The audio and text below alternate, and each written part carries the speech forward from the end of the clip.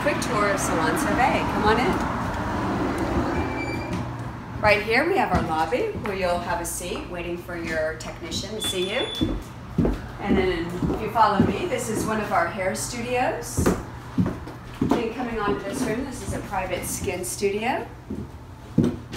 Moving towards the back, we have our shampoo room. Two shampoo bowls. And then over to the left, we've got an additional three private suites where our technicians see their clients. And that's a wrap. Thanks so much for seeing us at Salon Sovay.